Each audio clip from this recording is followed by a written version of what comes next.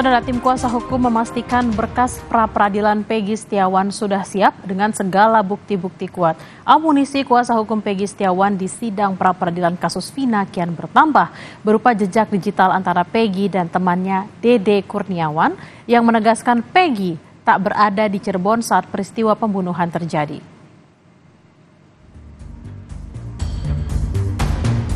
Kesaksian saksi kunci kasus pembunuhan Vina dan Eki di Cirebon, Jawa Barat 8 tahun silam, Liga Akbar, turut dimanfaatkan kuasa hukum Peggy Setiawan untuk menambah amunisi bukti di pra-peradilan demi membuktikan kliennya tidak bersalah.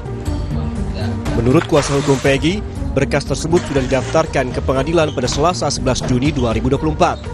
Pihak Peggy juga mendaftarkan sebanyak 22 kuasa hukum sebagai pemohon yang akan terlibat dalam persidangan pra-peradilan berlangsung.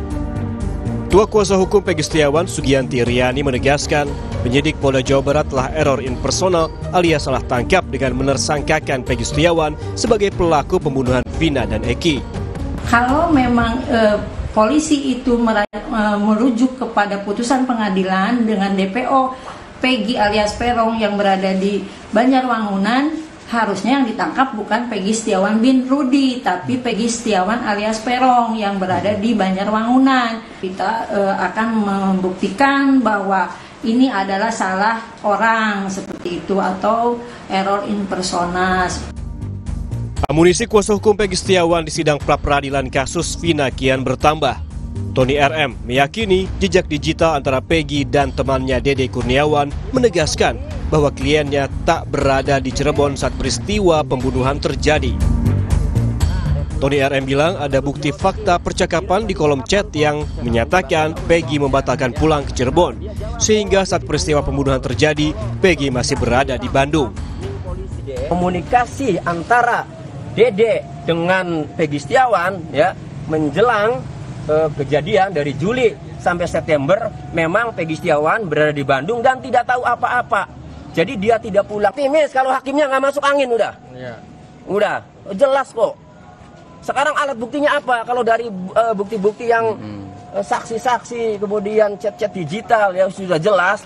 Lalu alat bukti dari penyidik apa? Menetapkan Peggy Setiawan sebagai, sebagai tersangka. Mantan Kabaris Krim Komjen Purnawirawan Susno Duaji menyebut sejumlah bukti baru yang diungkap kuasa hukum bisa menguntungkan Peggy.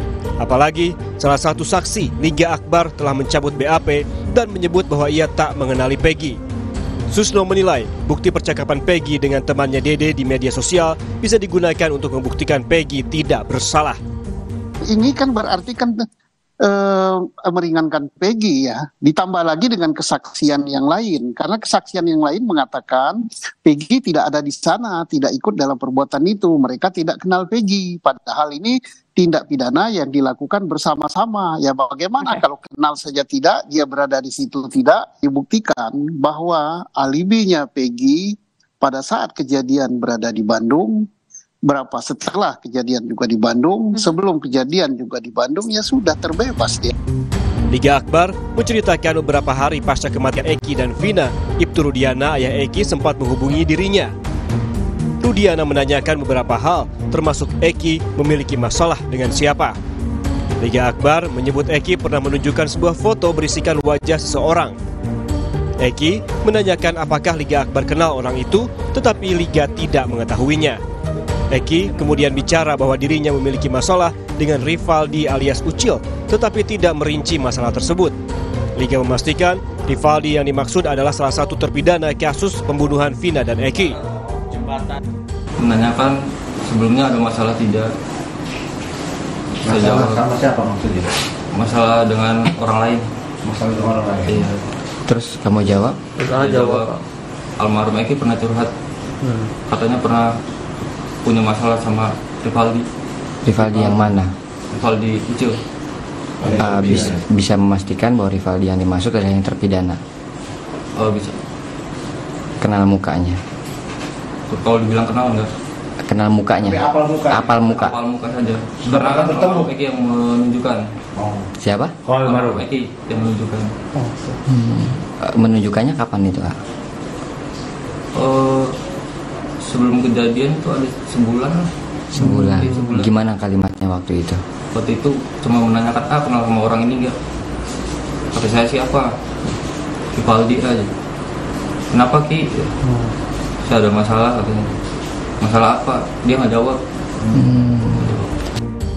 Sidang pra-peradilan Pegi Setiawan akan dimulai 24 Juni 2024. Polda Jawa Barat pun menyebut akan menyiapkan tim khusus untuk menghadapi pra-peradilan di tengah pengajuan berkas perkara ke pengadilan. Tim Liputan Kompas TV. Untuk mengetahui informasi terkini, kita langsung bergabung dengan jurnalis Kompas TV Muhammad Syahri Romdon di Cirebon, Jawa Barat. Arai, sepekan jelang pra-peradilan, apakah polisi masih akan memeriksa eh, saksi-saksi? Baik Bella dan juga saudara selamat siang. Eh, informasi akan adanya saksi tambahan yang akan diperiksa oleh Polda Jawa Barat baik di Polda Jawa Barat ataupun di Polres Cirebon Kota belum kami terima. Apakah memang ada saksi-saksi tambahan lagi yang akan diperiksa ataukah memang sudah cukup artinya sudah tidak ada lagi orang yang berkaitan dengan kasus ini baik dari saksi Peggy ataupun saksi lainnya yang termasuk juga terakhir adalah saksi yang merupakan teman dekat eh, Peggy di eh, akun media sosial Facebook milik Peggy Setiawan. Namun berdasarkan kuasa hukum baik dari kuasa hukum Dede Kurniawan ataupun kuasa hukum Nurul Iman yang kemarin mendatangi uh, Polres Cirebon Kota, informasinya masih ada satu atau dua orang lagi yang uh, waktu pada saat proses pertanyaan penyidikan di dalam ruang uh, pemeriksaan ada satu atau dua orang yang masih ditanyakan terkait orang tersebut. Namun apakah orang tersebut akan diperiksa lagi oleh para penyidik ataupun tidak, kuasa hukum masih belum meyakini dan belum mendapatkan informasi lebih lanjut. Uh, kesimpulan terakhir yang dilakukan Polda Jawa Barat di Polres Cirebon Kota terhadap dua orang penyidik, dua orang saksi maksud kami, dua orang saksi teman Peggy, menyampaikan bahwa para penyidik berusaha untuk mencari korelasi antara percakapan Peggy Setiawan di tahun 2015 dengan 2016 apakah ada hubungannya dengan peristiwa pada ditemukannya jasad Vina dan Eki di Jembatan Talun. Namun dua orang kuasa hukum dari Dede Kurniawan dengan kuasa hukum atas nama Tony RM dan juga kuasa hukum Eko Febriansah untuk uh, klien atau saksi Peggy bernama Nurul Iman memastikan bahwa apa yang ditanyakan penyidik di ruang penyidik itu tidak ada korelasinya sama sekali dengan perkara pada penemuan Vina dan juga Eki pada 27 Agustus kemarin. Sehingga akhirnya mereka menarik kesimpulan tidak ada korelasi dan menjadi bukti kuat bahwa Peggy Setiawan tidak berada di Cirebon melainkan berada di Bandung.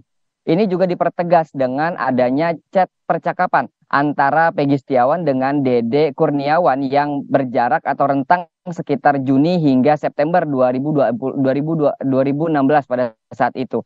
Tak hanya itu, Bella persiapan dari kuasa hukum yang baru hari ini kami uh, hubungi memastikan bahwa ada beberapa saksi-saksi lainnya yang juga akan dihadirkan dalam pra, pra, pra peradilan. Salah satunya adalah Liga Akbar, di mana Liga Akbar menyanggupi secara pribadi maupun dipertegas dengan kuasa hukumnya Bana bahwa Liga Akbar akan dihadirkan dalam pra peradilan nanti. Apakah perkembangan berikutnya dan koordinasi antara kuasa hukum dari Liga Akbar dan juga Peggy masih terus terjalin. Selain itu ada bukti-bukti tambahan utamanya terkait jejak digital Facebook milik Peggy Setiawan yang memang sejak kemarin sudah dipersiapkan secara matang oleh kuasa hukum untuk menghadapi tim Biro Hukum atau tim bagian hukum yang disiapkan oleh Polda Jawa Barat untuk menghadapi pra persidangan nanti tanggal pra peradilan nanti di tanggal 24 Juni 2024. Namun kami masih mendapatkan dan masih berusaha mendapatkan informasi lebih lanjut terkait masih ada rentang waktu satu pekan bagi pihak kuasa hukum maupun Polda Jawa Barat untuk menghadapi di tanggal 24 Juni 2024. Bella. Right. Uh, terkait kesaksian yang sudah diberikan oleh Liga Akbar, sejauh apa keterangannya ini bisa memperkuat pihak Peggy di uh, pra peradilan nanti? Uh, kami melakukan wawancara secara langsung dengan Liga Akbar dua hari lalu atau kemarin lusa. Uh, Liga Akbar menyampaikan banyak hal fakta yang tidak dia sampaikan di 2016 lalu, utamanya pada saat penyidikan 2016 uh, BAP dan juga persidangan.